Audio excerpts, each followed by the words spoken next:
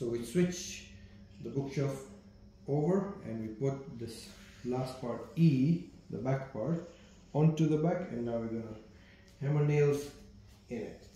And so this is what we're gonna do. I'm gonna start with this one